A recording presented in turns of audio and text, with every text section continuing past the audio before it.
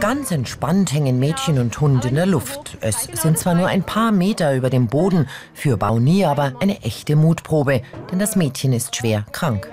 Da oben? Naja, da habe ich nicht an meine Krankheit gedacht. Bauni hat chronisches Rheuma. Dadurch wurden ihre Organe und das Nervensystem angegriffen. Die Arbeit mit dem Hund soll ihr wieder Kraft geben im Kampf gegen die Krankheit.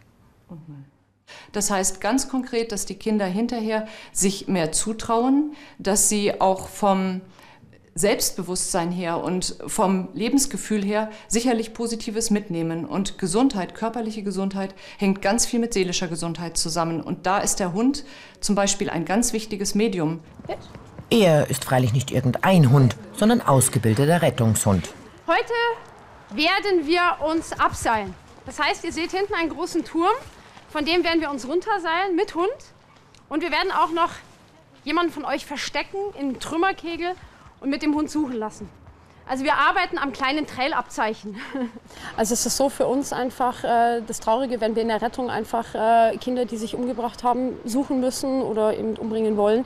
Und äh, da haben wir gesagt, wir wollen präventiv anfangen vorher, bevor es soweit kommt und wollen diese Kinder einfach mal rausreißen aus ihrem Alltag, aus dem Klinikalltag, aus ihren Gedanken, die sich immer um eines vielleicht drehen. Dann sagst du ihm einfach Sitz.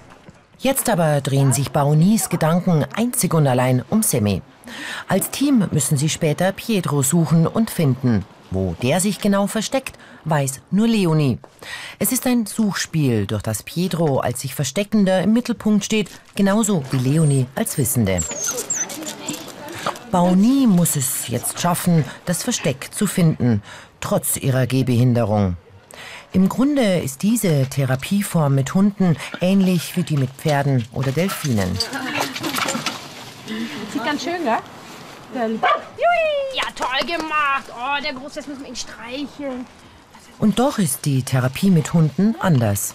Wir haben den Vorteil, wir können den Hund mit in die Klinik nehmen. Wir können stationär auch arbeiten mit den Hunden. Wir können da auch Suchspiele machen, auch im äh, Klinikgarten. Das Pferd ist ein bisschen schwierig, dahin zu bringen und den Delfin auch. Ähm, Delfintherapie ist sehr teuer, es werden Wildtiere genommen, äh, was auch immer ja in der Kritik steht. Und bei uns ist es einfach, der Hund ist eh beim Menschen und der Hund arbeitet mit dem Menschen schon über Jahrhunderte, über ganzen Zeiten. Und ganz alleine hätte der kranke Pietro auch niemals den Erdboden verlassen. Vor allem beim Abseilen ähm, fühlt man sich auch sicherer, wenn man jemanden bei sich hat, auch wenn es nur ein Hund ist.